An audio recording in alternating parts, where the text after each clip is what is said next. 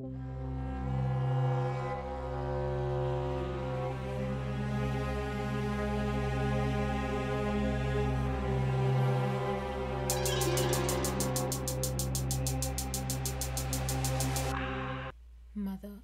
I am now 28 years old and in prison for my part in your murder. And although I can never justify my crime, nor can any letter or apology give back the life that was taken, I am writing this as if you were physically in front of me to express all that I have held in for the whole of my life. I am writing this letter having had nearly five years to feel the emotions felt when expressing the words written. Every day since your death, I have had nothing but time to reflect on the choices that have led me to where I am today. Moreover, of how your own actions form the circumstances around mine. The woman writing this letter to you is far different than the girl who was once broken and desperate to live what I would later come to understand as just an average life for a young woman. Living 23 years of my life with you as my only guardian, the one person who had the responsibility of shaping who I would grow up to become. Unfortunately, my upbringing was a far cry from that which it should have been. Mom, after all that has happened, I have been searching for answers and spending my time trying to learn about myself as a person, trying to make sense of why all these events unfolded with the amount of tragedy. With now having the answers I sought to find, I am able to finally let go of the resentment I held against you and forgive you. And moreover, I want to let you know that I'm so sorry for having a part in your death. Murder was never the answer or solution. There is not a single day that you go unremembered, and I will carry this regret and remorse for the rest of my life. I will always love you for bringing me into this world, and will remember you with love for the woman I know was a good person behind the mental disorder. Going forward, I will take my past and turn it from pain to perseverance. I can never undo the hurt that was caused by my actions, but I hope by doing this, I am remembering you well and making a positive difference with your memory.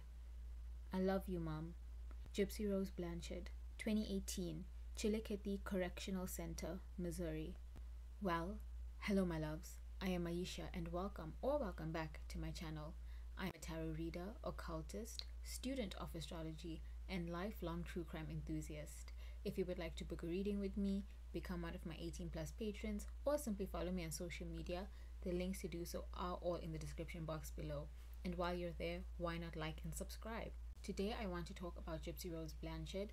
My main source of information for this video was her book, Released Conversations on the Eve of Freedom, which as always I highly highly recommend. It's absolutely, it is such a good read.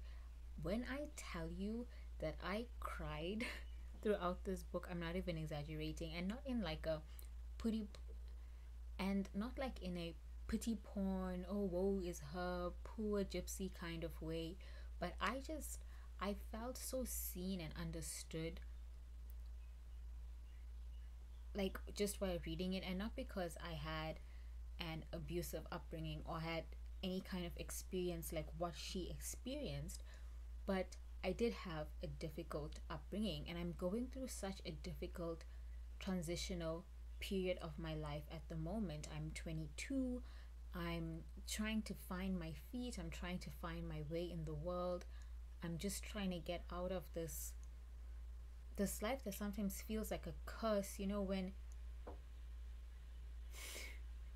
it sometimes it sometimes feels like a curse like i'm just trying to escape this low income life this unemployment and there were so many things that she said that just resonated with me so deeply i'm obviously a very spiritual person. I run a spiritual business. I work as a spiritual advisor a spiritual healer. I come on youtube to do tarot readings and spread you know spiritual love spiritual light. Spirituality is important to me.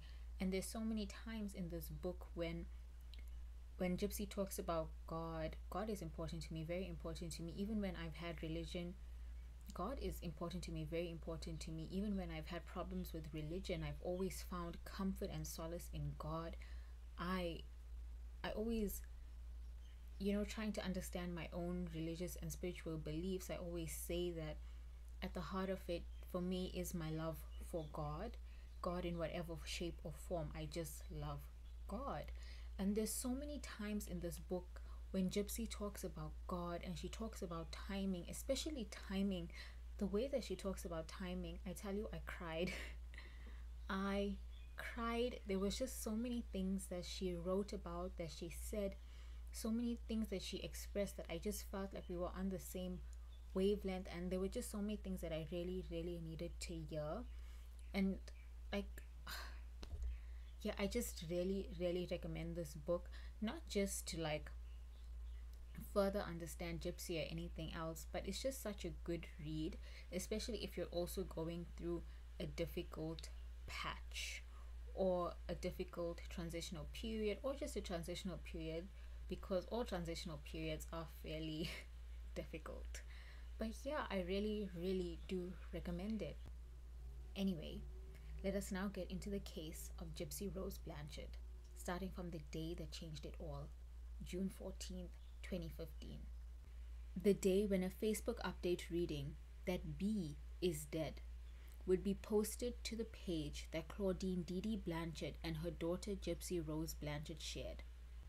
Another Facebook update read, I effing slashed that fat pig and raped her sweet innocent daughter. Her scream was so effing loud, lol. Worried friends of Dee Dee Blanchard called the police, who arrived to find the 48 year old single mother dead in the bedroom of her Springfield, Missouri home. She had been stabbed 17 times, and her 19 year old daughter was nowhere to be found. This, of course, caused instant concern. Not only had her mother just been found murdered, but Gypsy was as vulnerable as they come. See, she was severely ill, wheelchair bound for most of her life due to her multiple chronic illnesses and conditions, which included leukemia, muscle dystrophy, asthma, and brain damage. Or so everyone, including Gypsy, believed. Both community and authorities would come together to look for the missing Gypsy, finally finding her alive and well in Wisconsin in the home of her then boyfriend Nicholas Godejohn. And with this, as we often see in such cases, the killing of Dee Dee Blanchard by the hands of Gypsy Rose Blanchard and Nicholas Godejohn was only the tip of the iceberg. After all, most children don't just kill their parents without a reason. With this killing, unbelievable truths would come to light. For one, remember how I said that Gypsy was 19 years old? She wasn't. She was actually 24. And she wasn't sick at all. She didn't need her wheelchair she could walk and does walk now as a free woman. She didn't need her feeding tube either, and she certainly didn't have all those chronic illnesses she had spent her life thinking she had, and that she had been treated for, received surgery for. No, it had all been a lie. A lie that no one had been more duped into than Gypsy Rose Blanchard herself. A lie born of Dee Dee Blanchard's Munchausen syndrome by proxy which is a mental disorder wherein a caregiver creates the appearance of health problems in the person in their care, typically a parent in their child. This disorder would manifest not only in Dee Dee creating the appearance of health problems in Gypsy, but in her isolating her daughter, physically abusing her daughter, and of course, milking her daughter's conditions for fame, attention, gifts, and donations. Eventually trapped and not seeing any way out from under her mother's controlling thumb, especially not seeing any way for her and her boyfriend to be together, Gypsy and Nicholas Godejohn would kill Dee Dee Blanchard. This would lead to both Gypsy and Nicholas Godejohn being imprisoned, with Godejohn still in jail and serving a life sentence with no chance of parole, and Gypsy Rose recently being set free. And with her being set free, it just has me wondering what comes next for her. Already, we're seeing her being treated as somewhat of a public figure, going on interviews and talk shows, and being covered on Stan Twitter the way any other celebrity would be. Her relationship status was covered. When she broke up with her ex husband Ryan, it was covered. Um, her sending in her her plastic surgery pics to TMZ. It's just it's fascinating. And I'm just curious about what's to come. And you may have noticed I didn't go in depth with her case because her case has been told or her story rather her story has been told time and again time and again time and again and you can find so many videos talking about it so i am mostly uh, to look at the tarot so my last video was quite heavy i did the case of jocelyn smith so i just want something a bit more you know like i just don't feel like it's gonna be a lot of heavy energy today it's fascinating and she is becoming this this cultural icon. And so I'm curious about what comes next. I wonder if I had done this video when I initially planned to do it, which was about two weeks ago, if I would have picked up on the divorce and the plastic surgery. So let's just see, let's get into it and see what we are looking at today. So for today's reading, I am using. Oh, why did it split? One moment, please. Okay, so for today's reading, I am using the Phantomwise Tarot by Erin Morgenstern. There's no viewfinder on my camera. Um, I mean, there is one, it's on the back. There's a screen on the back. There's nothing that sticks out for me to look at myself. Um, I wonder if I can get an attachable, detachable one so that I can see because I'm playing it by ear at the moment. But anyway, I am using the Phantomwise Tarot by Erin Morgenstern. It's such a beautiful deck. So let's just see what's coming next for Gypsy Rose Blanchard. What's coming next for Gypsy Rose Blanchard? Please, Spirit. Okay, death. A big transformation, which is fair and we're already seeing signs of this big transformation with her getting back with her ex as far as my last information um stands getting back with her ex getting the the matching tattoos with her ex getting her nose surgery getting i don't i don't think there was anything else. I think the plastic surgery on her nose was the last big update. But i do think we're going to see like a very big transformation and not just a transformation in her physically but in the position she takes in the culture. Because do you know what keeps coming to mind now that I pulled out death? I'm thinking of Kim Card no Kourtney. Khloe Kardashian's reality show Revenge Body and we can talk about the optics of that some other time or never. I don't really care to have that conversation. But but something like that where she might go on a reality show, she might do a complete 180 with her appearance, she might get her teeth done, lose a lot of weight, or go on a reality show where the point is like like a makeover show. I feel like that's something that's coming through a makeover show. And when I said makeover show, I just had this image in my mind of her sitting on um the panel of judges for RuPaul's Drag Race. And you know, I don't know. I kind of want to say no, I don't think that would happen. But also, why not? so i feel like that is something like we're just going to see her become more of a more of an icon more of a socialite more of a, an influencer almost. I know she has taken a break from social media and she said that she has to take accountability. She's done her time in prison. She's she's been held accountable. As far as i'm concerned she shouldn't have done any time. But um yeah i feel like you know, she should be able to assume this greater cultural role because why not? I think it would be amazing to see her on RuPaul. I might actually tune back in if that ever happened. The Wheel of Fortune. Great, great things coming for her. Great, great, great things coming for her. A lot of good luck. Oh, okay, wait. I was shuffling and the Fool came out. And I didn't point it out, but when I picked up the deck before I, you know, when it was in two halves, The fool was at the bottom. New beginnings. This is so.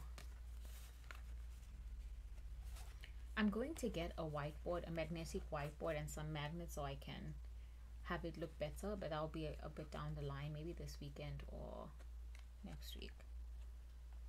Maybe. But yeah, so new beginnings, a transformation, a transformation that,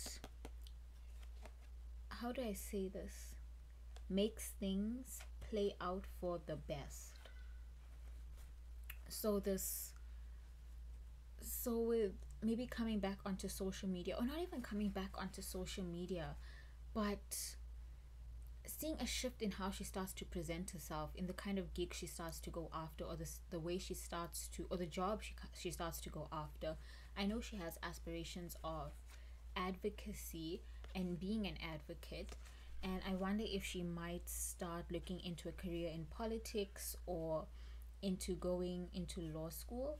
But i also still feel that those other things that i said earlier are very prominent, kind of becoming more of a reality star, becoming more of a public figure in that way, going on reality shows, taking part in reality competitions, um, maybe even starting a talk show of her own because I just pictured now like, you know, um, the Carisha Carisha show. Well, I don't. I've never watched it. I only watched that one clip when Megan Thee Stallion was on it, um, and she was being interviewed by Carisha, and I just kind of pictured this like talk show set this talk show set where it's like gypsy and it's like the gypsy rose show or it's just gypsy rose or something like that and i think that would be very interesting whatever kind of perspective she decides to take i think a pardon i think a talk show would be very interesting would be very fun and i think it would be a good way to go but also the law school um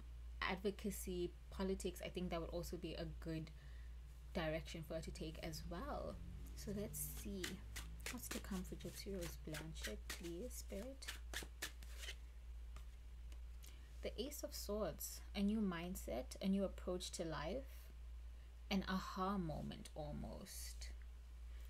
Where it's like when she's now in the actual real world, what she thought she wanted out of her life and what she actually wants out of her life are or is rather is very different because when she was in prison she may have had one idea for her life like oh i'm gonna go out and do this and be this and experience this and achieve this and now that she's actually living she's like wait but I actually don't want that and I don't want to box myself into this and I just want to experience as much of life as possible and I want to follow a different path.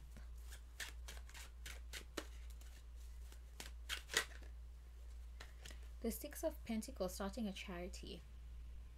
Starting a charity, giving away um, money, giving away belongings. I feel like if she earns any sizable income in the near future, maybe through some deal or something, a lot of it will be given to charity.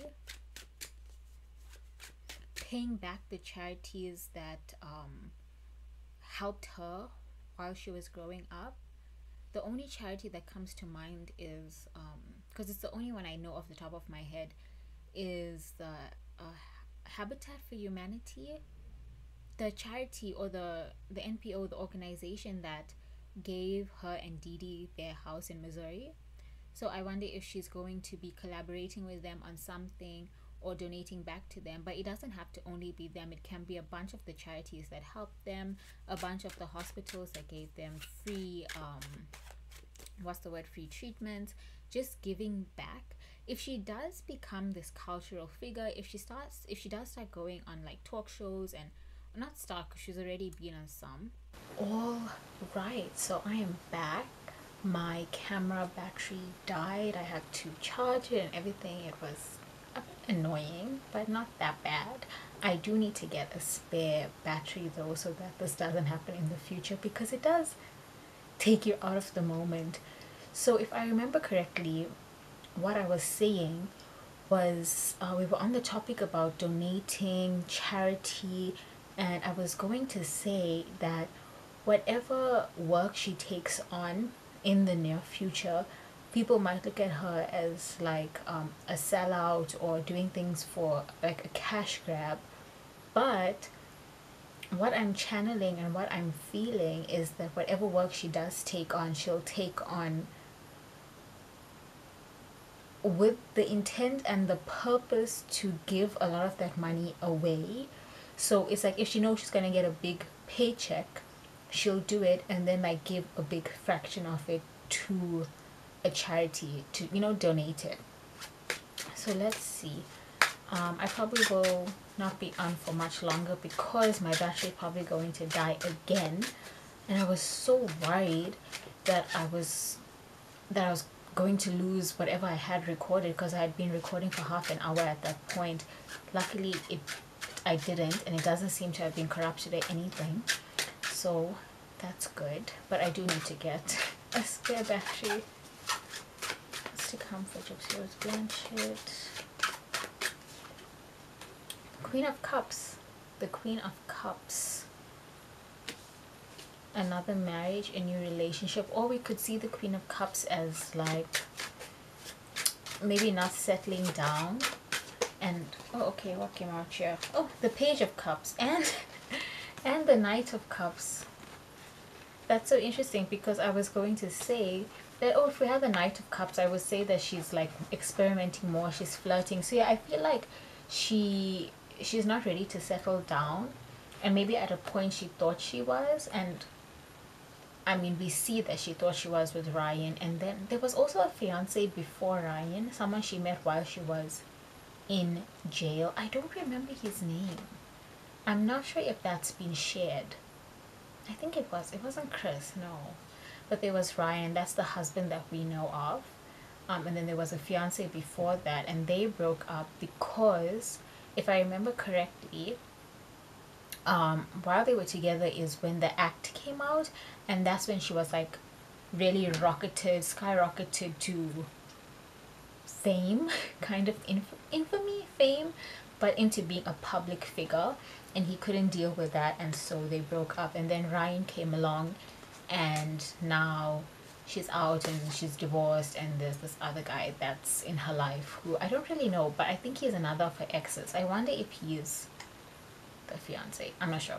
Anyway, but yeah, so we see somebody experimenting with love, um, feeling like she missed out on like that teenage kind of um, romances, like missed out on uh, being on like you know like playing the field and stuff like that.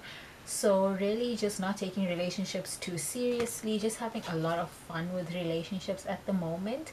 Um, I feel like there might be a bit of a a high profile relationship that um, I don't want to say like oh with a celebrity but another public figure like I feel like yeah some another public figure um, a journalist or somebody like that you know who's coming to mind um, George Clooney and his wife, so it could be a public figure in that regard, somebody who's very highly regarded in a political field or um or like what, what am I trying to channel here? Because something else that does come through, so maybe a, a relationship with a celebrity in the sense of um not a romantic relationship. So like I said earlier with playing the field and stuff like that and then on a different note is that there's this relationship with a celebrity. I kind of i'm kind of thinking of like Megan Thee Stallion on live and like somebody's like oh what do you think about gypsy rose? And then she's like oh i love her or something like that you know what i mean? And so just kind of seeing gypsy become more of a public figure become more entrenched in like celebrity circles.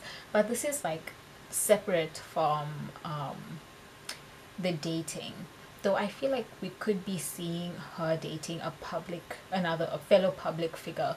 But I'm trying to think, would it be a celebrity? The Seven of Cups, lots of options, but no, I don't think it would be a celebrity.